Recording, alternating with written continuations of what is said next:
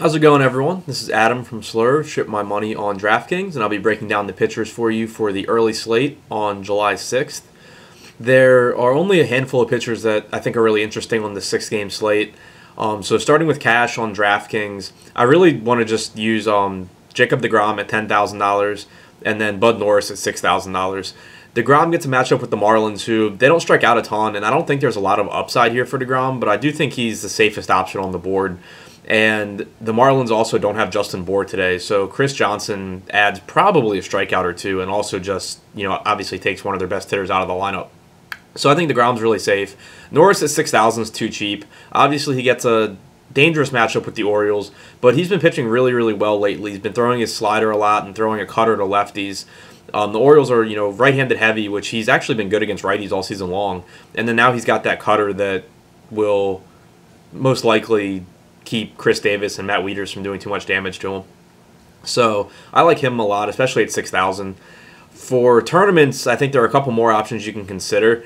DeGrom, I think's in play again since he, you know, just is the best pitcher on the slate.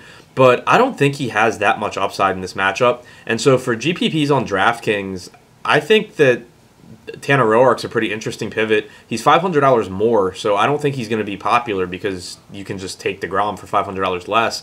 But he's got a matchup with a Brewers team that strikes out a ton and doesn't hit well against right-handed pitching. And for the most part throughout his career, he's done well against righties.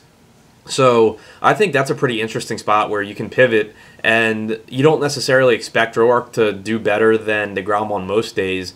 But I think the ownership difference will be worth the pivot taking the chance that you know he beats him today and you get a leg up on all of the Degrom teams.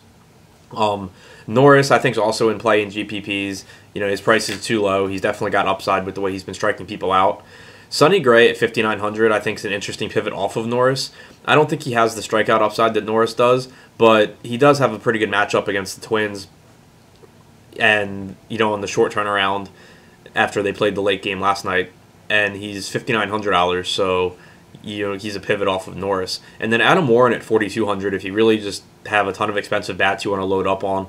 He in his last start at AAA, he went five innings, so I expect him to be able to go around you know five innings today. He gets a matchup with a Reds team that can hit really well, but Jay Bruce isn't in the lineup, so that's a boost to Warren. And he's just a decent pitcher. I mean, he's a reliever making a spot start, so he's not someone that's going to have a great game for you. But at 4,200, he can definitely give you, you know, 12 to 14 DraftKings points and let you pay up at bats if you don't like the more expensive pitchers and you want to pay up for hitting instead. On FanDuel and cash, I think Jacob DeGrom is definitely the play at 10,300, just because again, you know, best pitcher on the slate, not in a bad matchup, and there's just not a lot of other pitchers that like mirror him in safety. I don't think. But if you do have trouble fitting bats in, which generally you don't on FanDuel because their pricing sucks, but if you do like if you can't find bats that you like with the DeGrom, then my second choice would be Norris at 7100. But I really want to try and get the DeGrom into my cash lineups. In GPPs, it's a little bit different because again, you know, DeGrom's 10,300, and I just don't think he's got a ton of upside here. And so again, I don't mind going to Norris at 10 or Norris at 7100 or or Roark at 9,000, but that's about as creative as I'll probably get on FanDuel with pitching.